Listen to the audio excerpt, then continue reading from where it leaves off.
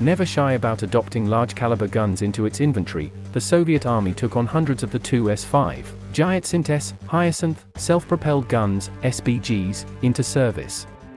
The vehicle was centered around the same 152mm gun, as featured in the 2A36 Giatsint B towed artillery piece, designed at the same time, and therefore retained the weapon's inherent capabilities while adding mobility and a broader tactical value through the 2S5's track and wheeled form.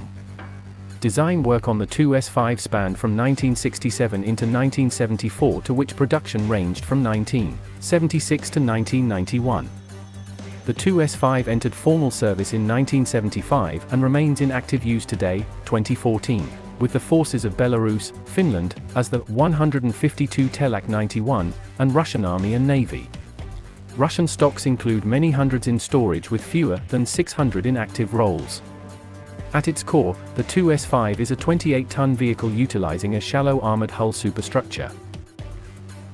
A typical operating crew is five while the vehicle requires coupling with ammunition carriers to supply its projectiles. This increases the human commitment to the system by several additional members. Overall length is 27 feet with a width of 10.6 feet and height of 9 feet. Armor protection is 15 mm at the thickest facing.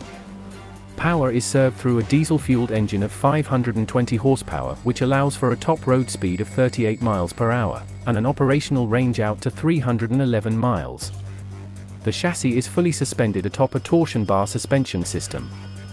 The track and wheel system consists of six paired rubber-tired road wheels to a hull side with four track return rollers used.